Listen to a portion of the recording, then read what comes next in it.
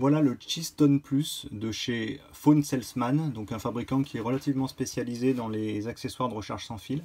Alors c'est pas tout à fait un chargeur sans fil, c'est mieux que ça, puisqu'en fait c'est une batterie, une batterie externe, une batterie de secours, mais qui dispose de sa propre, euh, boucle d'induction euh, de recharge sans fil, qui peut donc s'utiliser avec euh, l'iPhone 8 ou avec l'iPhone 8 Plus, ou encore avec l'iPhone X, et bien entendu les autres mobiles compatibles. Donc juste pour vous montrer comment ça fonctionne, on pose l'iPhone sur la batterie, on a une petite lumière bleue qui montre que ça charge et on voit bien la recharge qui, se fait.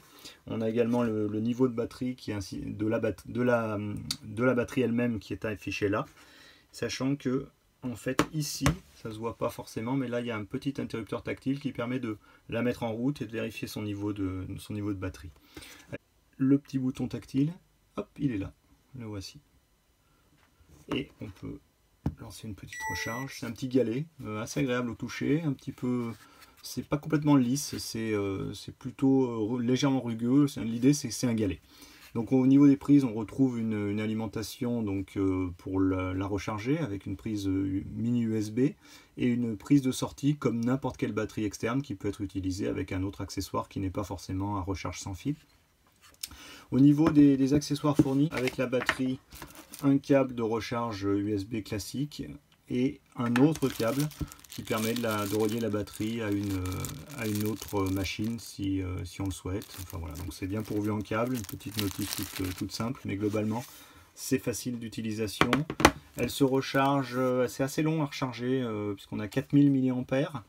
Euh, on peut compter euh, bien 3 heures de recharge. Quant à l'utilisation, elle va recharger avec ses 4000 mAh, on va recharger un iPhone 8 Plus jusqu'à 80% environ en un peu plus de 2h30, soit une demi-heure de plus qu'une recharge standard avec le, câble et le chargeur standard de l'iPhone. Donc c'est plutôt pratique, c'est agréable, elle est, sympa dans la poche. Maintenant, euh, il faut en avoir le besoin.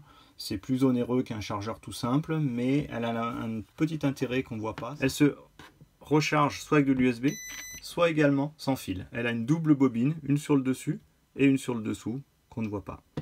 A très bientôt pour une nouvelle vidéo, sachant qu'on en a une dédiée à la recharge sans fil, qui, euh, qui pourra peut-être intéresser ceux qui sont intéressés par ceux qui sont en recherche d'un chargeur ou qui veulent en savoir plus sur l'utilisation avec des coques. Retrouvez-nous sur la chaîne YouTube iPhone.fr ou sur le, site iPhone.fr.